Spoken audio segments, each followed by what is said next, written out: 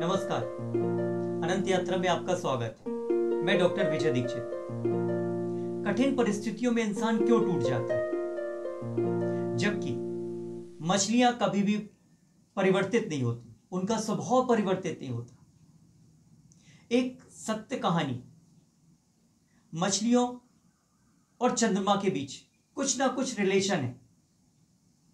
वैज्ञानिकों ने कई बार अध्ययन किए।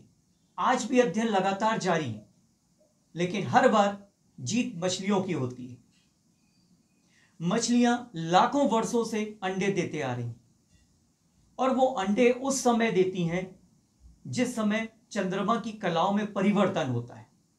चंद्रमा अपने एक किसी विशेष समय पर आता है, और उसी समय मछलियाँ अंडे देती हैं। अगर ऐसा नहीं होता तो मछलियाँ पूरी दुनिया से समाप्त हो चुकी होती। नदी, नाले, झील, समुद्र, कहीं पे भी मछलियाँ नहीं होती। आपको बता दें कि मछलियाँ उस समय अंडे देती हैं जब समुद्र का पानी वापस जा रहा होता है। जिस समय ज्वार भाटा आता है, वो भाटा जब वापस जा रही है लहरें, उस समय वो जमीनी स्तर पर रेत में अंडे छोड़ के जाती। पंद्रह दिन बाद फिर से ज्वार आता है, चंद्रमा के हिसाब से।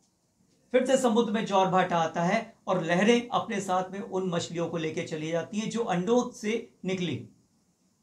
और ये प्रक्रिया लगातार चलती है। लाखों करोड़ों मछलियाँ एक साथ रेत पे आती हैं, अंडे देती हैं और पंद्रह दिन बाद उनके बच्चे फिर वापस समुद्र में चले जाते हैं। वो बड़ी मछलियाँ बनती है, वो भी अंडे देती इसके लिए कई वैज्ञानिकों ने बहुत सारे अध्ययन किए। उनको अंधेरे में रखा, उनके लिए आर्टिफिशियल लाइट की व्यवस्था करी कभी लाइट कम कर दी, ज़्यादा कर दी, बल्कि उनको एक छोटे टब में भी रखा गया, घरों में रखा गया, झील में रखा, कई जगह वैज्ञानिकों ने इसके ऊपर शोध किए। लेकिन उन्होंने देखा कि चंद्रमा जब विशेष समय पर चंद्रमा पूर्ण होता है, जिस समय समुद्र में जौर भाटा आ रहा होता है, ठीक उसी समय घर में एक छोटे से पॉट में, जिसमें पूरा अंधेरा है, मछलियों को न दिन का पता है, न रात का पता है तो भी वो उस पानी में अंडे छोड़ देती। क्योंकि उनके पास तो रेत की व्यवस्था नहीं है ना। इन सब के बाद भी मछलियाँ हारी नहीं। चाहे वैज्ञानिकों ने कितने भी कोशिश कर ली, कितने भी तरह के अध्ययन करे, लेकिन हर बार जीत मछली की हुई। तो इंसान क्यों हार जाता है? दरअसल ये दिमागी फितूर है। हमारे दिमाग में किस तरह का केमिकल आता है हमको लगता है कि हम हार जाएँगे। इसलिए तो किसी ने कहा है, मन के जीते जीत है, मन के हारे हार।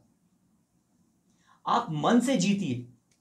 आप मन में तय कर लीजिए कि आपकी जीत निश्चित है तो आप जीत जाएँगे।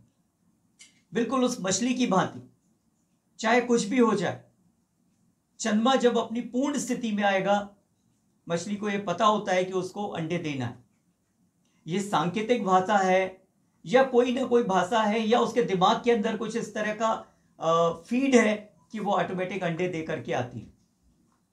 तो मनुष्यों को भी, किसी भी कठिन से कठिन परिस्थिति में हारना नहीं है। चाहे कोरोना जैसी कठिन बीमारी भी क्यों ना आ जाए तो हम सभी को, दुनिया को और अपने आप को बचा के आगे ले जाना है। मित्रों, आज की कहानी इतनी। मैं आपसे आग्रह करूँगा कि चैनल को सब्सक्राइब करना नहीं भूलिएगा। साथ ही इस वीडियो को शेयर और लाइक ज़रूर कीजिए। इसके साथ ही डॉक्टर विजय दीक्षित को आज्ञा दीजिए। धन्यवाद।